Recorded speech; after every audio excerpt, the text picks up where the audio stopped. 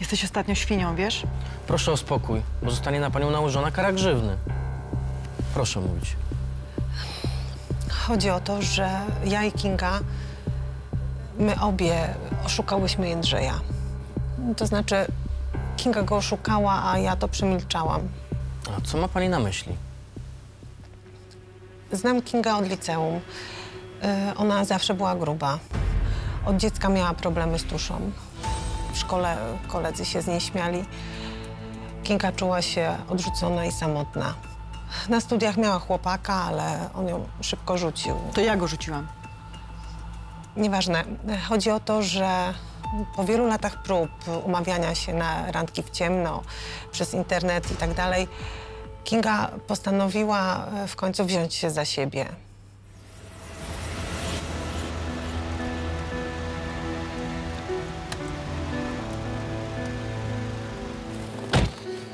No i co? Zajebiście. Sama zobacz. Tada! 12 kilo? I to w 6 tygodni. Lekarz powiedział, że to jest super wynik. No pewnie, że super.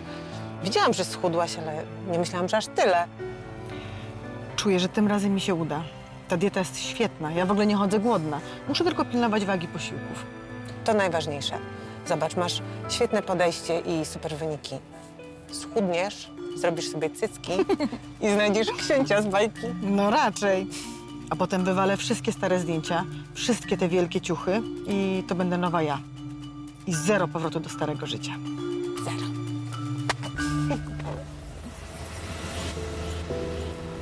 Faktycznie Kinga z tego okresu usunęła wszystkie zdjęcia y, z czasów, kiedy była gruba, ale ja jedno zachowałam.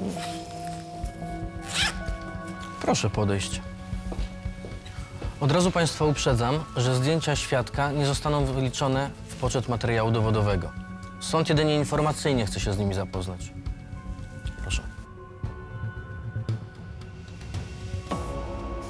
Tak y, Kinga wyglądała rok później. W tym czasie poznała Jędrzeja. Dziękuję. Proszę zająć miejsce dla świadka. Wysoki sądzie, ja zostałem perfidnie oszukany i wykorzystany. To ja byłem tym księciem z bajki, którego Kinga chciała upolować. No i strzeliła się idealnie.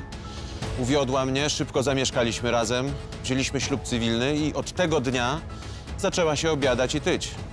Cel został osiągnięty i można było sobie pofolgować.